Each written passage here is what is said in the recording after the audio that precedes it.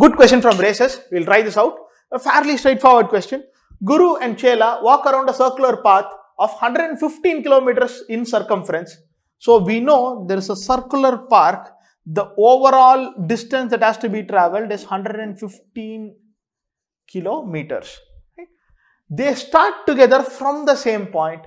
If they walk at the speed of 4 and 5 kilometers per hour respectively, also they walk in the same direction, when will they meet? So let's assume this is a starting point. One starts at 4 kilometers per hour, the other starts at 5 kilometers per hour. Right? They both start at the same point, at the same time, in the same direction. Right? When will they meet again is the point, not where will they meet.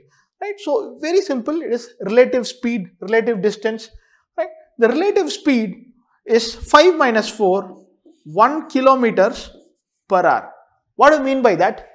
After the end of first kilometer, person A would have traveled 4 kilometers. Sorry, after the end of first uh, hour, person A would have traveled 4 kilometers, person B would have traveled 5 kilometers or the gap between them is 1 kilometer, right?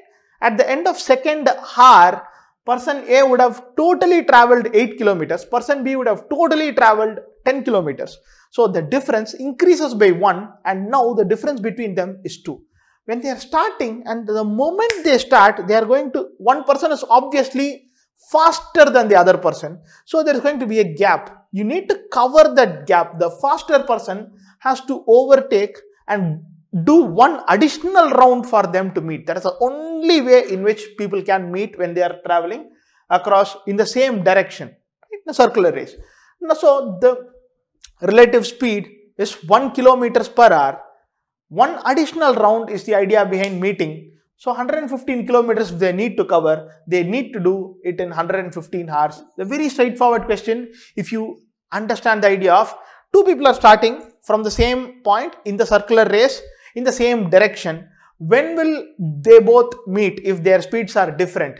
They will meet when the faster person takes one additional round than the slower person. So the faster person needs to clock one additional round which is 115 kilometers.